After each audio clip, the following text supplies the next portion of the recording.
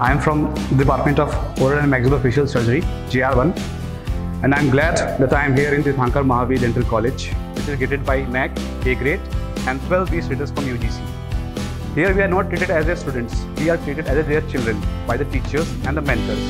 And I'm glad that you all, I invite you all to be here with us Teerthanker Mahaveer University I am currently pursuing my post-graduation in the Department of Orthodontics and Dentofacial Orthopedics in Teerthanker Mahaveer Dental College and Research Center. The faculty here are very friendly and the learning environment is really just great. So I hope that we can, uh, we take the chance, opportunity to, to come here and experience this.